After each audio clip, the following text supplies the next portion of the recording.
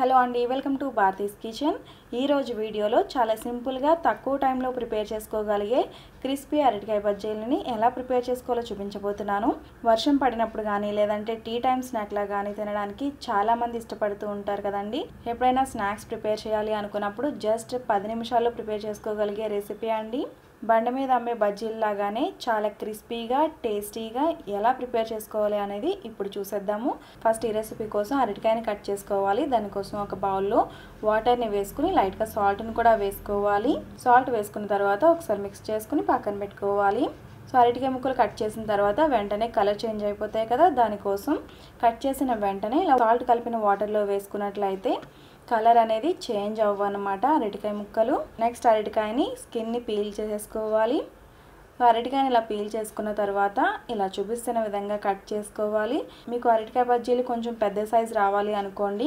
అరటికాయని చీరికల కింద కట్ చేసుకుని సెంటర్లో కట్ చేస్తే సరిపోతుంది. మీకు అలా అయితే పెద్ద ముక్కలు వస్తాయి. చిన్న చిన్న ముక్కలైనా పర్వాలేదు అనుకుంటే ఇలా చూపిస్తున్న విధంగా కట్ చేసుకోవాలి. ఇక్కడ నేను ఒక అరటికాయని తీసుకున్నాను. వీటిని ఇలా సన్నగా కట్ చేసి తీసుకున్నాను. మరి లావు ముక్కలుగా కట్ చేయకండి.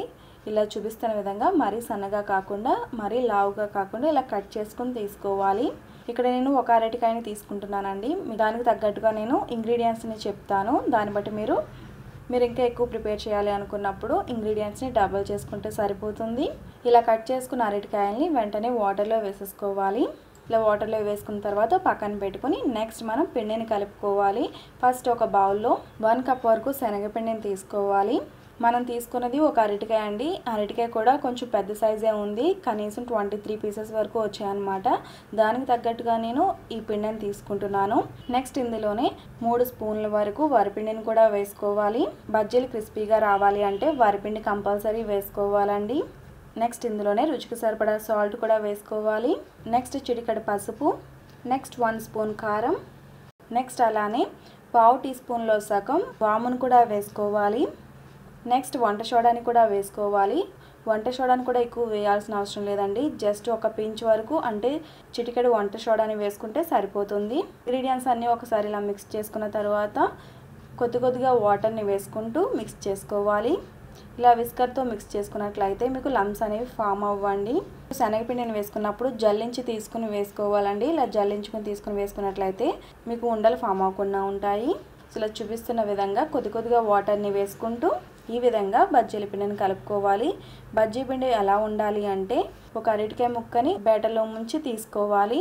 అరటికాయ ముక్క చుట్టూ లేయర్లా ఫామ్ అయిందనుకోండి కొంచెం దల్సర్ లేయర్లా వచ్చిందనుకోండి ఈ బేట పర్ఫెక్ట్గా ఉన్నట్లు బజ్జీల పిండి అనేసరికి ఏ బజ్జీకైనా సరే సేమ్ ఇలానే కలుపుకోవాలన్నమాట. ఇలా చూపిస్తున్న విధంగా ఒక్కొక్కటి కూడా ఆయిల్లో వేసుకుని ఫ్రై చేసుకోవాలి. ఆయిల్లో బజ్జీలు వేసేటప్పుడు ఆయిల్ మరీ హీట్ ఎక్కువ ఉండకూడదండి. నార్మల్ హీట్లో ఉండాలి. అలానే మీడియం ఫ్లేమ్లోనే ఫ్రై చేసుకోవాలి. హై ఫ్లేమ్లో ఫ్రై చేశారనుకోండి ఇవి తొందరగా కలర్ అనేవి వచ్చేస్తాయి. అలానే లోపల స్టఫింగ్ అనేది సరిగ్గా ఉడకదనమాట అలానే వీటిని లో ఫ్లేమ్లో ఫ్రై చేశారనుకోండి ఆయిల్ని పీల్ చేస్తాయి. కాబట్టి మీరు మీడియం ఫ్లేమ్లోనే కుక్ చేసుకోవాలి. ఇలా గోల్డెన్ కలర్ వచ్చిన తర్వాత తీసి పక్కన పెట్టేసేయండి. సో ఇలా చూపించిన విధంగా మీరు అరటికాయ బజ్జీలు ప్రిపేర్ చేశారనుకోండి చాలా పర్ఫెక్ట్గా క్రిస్పీగా వస్తాయి. బజ్జీలు ఇలా వేడివేడిగానే సర్వ్ చేసుకోవాలండి. వేడివేడిగా సర్వ్ చేసుకుంటేనే టేస్ట్ బాగుంటాయి. ఈ రెసిపీని మీరు కూడా తప్పకుండా ట్రై చేసి మీకు ఎలా కుదిరాయో నాకు ఈ వీడియో కింద కామెంట్ సెక్షన్లో తెలియజేయండి ఈ రెసిపీ మీకు నచ్చితే తప్పకుండా లైక్ చేయండి. రెసిపీ ఎవరికైనా హెల్ప్ అవుతుంది అనుకుంటే రెసిపీని తప్పకుండా మీ ఫ్రెండ్స్ అండ్ ఫ్యామిలీస్కి షేర్ చేయండి. మరిన్ని మంచి రెసిపీస్ కోసం నా ఛానల్ సబ్స్క్రైబ్ చేయండి. అలాగే తర్వాత వచ్చే బెల్ ఐకాన్ కూడా క్లిక్ చేయండి. Thanks for watching.